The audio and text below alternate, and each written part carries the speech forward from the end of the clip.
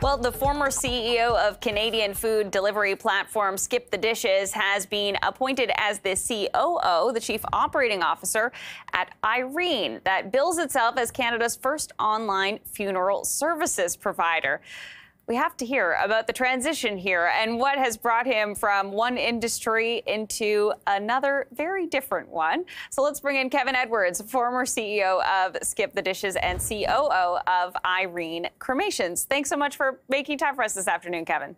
Oh, thank you very much for having me. I appreciate uh, the opportunity. So, yeah, an interesting transition here. Um, you did ret retire from Skip the Dishes. This is the, the Canadian um, online food delivery business. It, you retired after um, leading the company from 2018 to 2022. Is that right?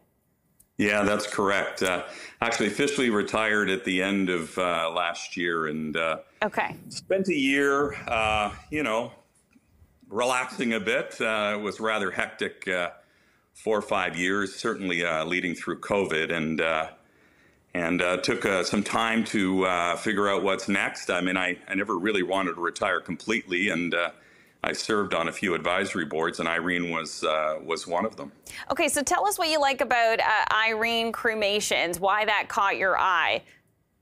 Well, I think it's it's a it's similar in the sense that it's a very disruptive uh, business model. I mean, we're we're really disrupting a very old traditional uh, industry in the in the funeral business. It's an it's an online platform, um, and really a a very flexible, simple way to uh, to take care of um, uh, your loved one's uh, cremation uh, it's transparent. It's 24 uh, 7. It's really just a different disruptive model.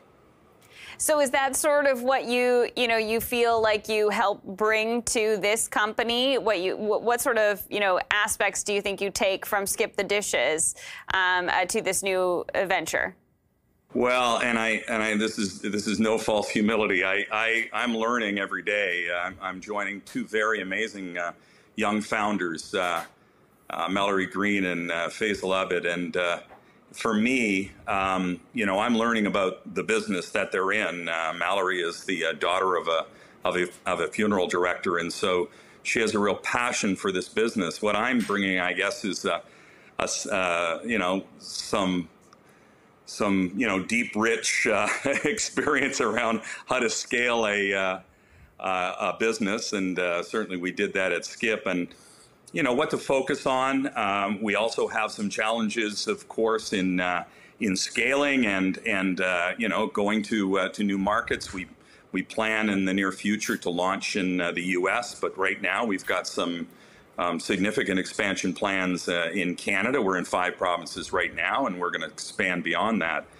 And of course, there's always the challenge of uh, of raising capital. We're we're blessed right now to have been supported by um, um, top tier uh, VCs, and uh, you know, but as you're as you're building and scaling a business, you need to constantly look at uh, new sources of, of investment. So, you know, I'm I'm going to help the team uh, build a brand and uh, take on some of the the functions so that. Uh, Mallory can be out there evangelizing about the business and the platform, and and hopefully raising more money. Yeah, what, what is the fundraising environment like right now, do you think? Well, I think what's well, I mean, it's it's obviously tough, but yeah. if you've got a business that is uh, uh, uh, on the precipice, uh, very close to being profitable, that's an easier story to tell. It certainly is uh, is the case for Eirene. Um, we are uh, we're a very well run business. Um, they have they've taken on you know just recently um, investment, but for the most part you know, it was, uh, they had some early investors. Uh, it, it's nearly bootstrapped now. I mean, you know, it's, it's, it's very close to profitability. In fact, we believe we're going to be there mid year. So uh, it's a great story to tell. Um, you know, growth is very important, but being able to prove uh, profitability is, uh, is even more so today. And just give us a bit on the, the logistics here for, for Eirene. I, I understand there's two, there's at least two different services that you could be asking for your sort of regular uh, cremation service and then an aquamation service as well. And then this is all done um, digitally in terms of the the request um, for for these services, or, or how does it yeah, work? I mean, you would contact us uh, online or or, or, or by phone. Um, our you would be connected, and uh, and the entire process would be handled by one of our licensed funeral directors. So it's uh, very intimate, very compassionate. Um, you know, our people are uh, couldn't be more uh, passionate about um, serving our our families. Um, we we take care of the whole process from you know all of the paperwork and and everything else that is required.